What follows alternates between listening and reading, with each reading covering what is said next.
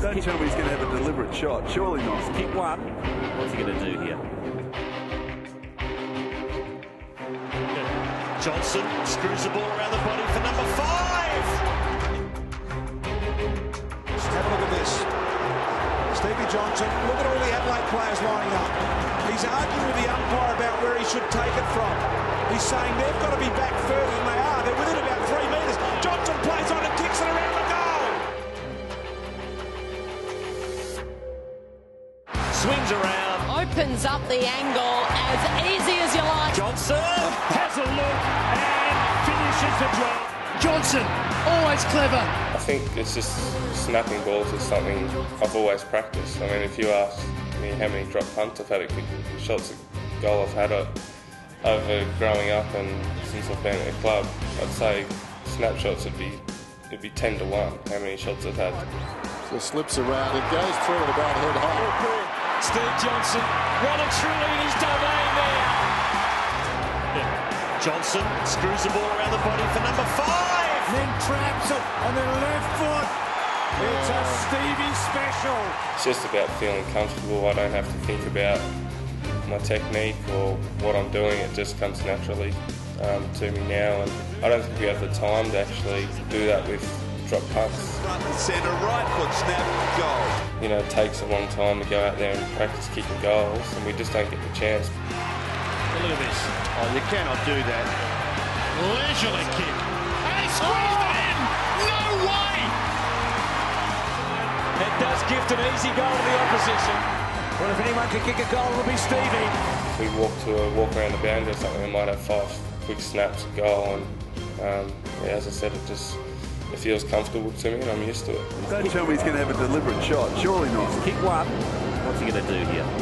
He's going to kick around the corner from 45 metres out. It's coming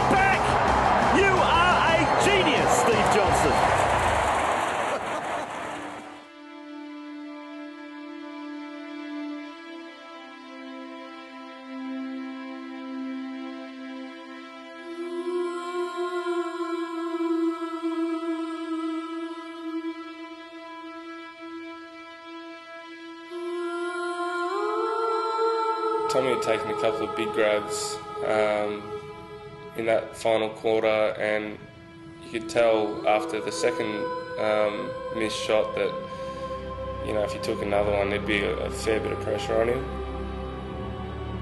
Yeah, so I took a mark, I think I was about 15 metres out uh, on an angle. I had a couple of shots before that and I'd missed a few, so um, uh, I, I took the mark um, and Jimmy and Stevie were both in my area and Jimmy came up first and he said, which he always says if he's around me, he comes up and says, go back and kick the goal.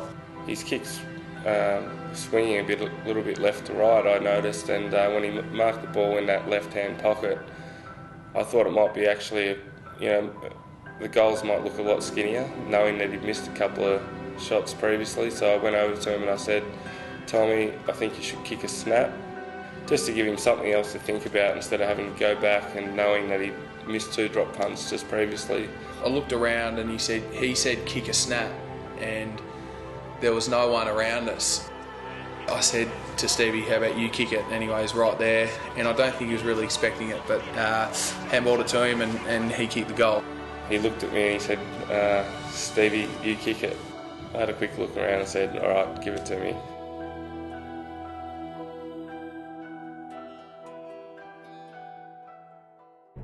Looking back, I probably could have kicked it myself, but um, Stevie's uh, Stevie's Stevie, and he's known for his uh, for his uh, magical work. So um, you knew, I knew it was uh, a, a definite goal. So um, I suppose it was one of those things that gets talked about a bit, but um, you know, um, it's gone down to six points, and He handballs to Johnson, who kicks the goal. and it gave us a, a bit more of an edge in front. So that was what was happening. I didn't go over there expecting him to give me the handball or say, quick, give it to me.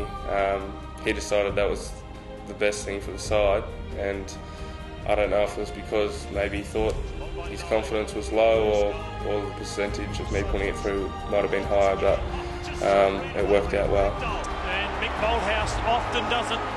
He can stick to his structures and he plays on. Johnson. He handballs to Johnson, who kicks the goal. Quick kick, Selwood to Steve Johnson. Wouldn't this be sweet for Steve Johnson after the week he's had?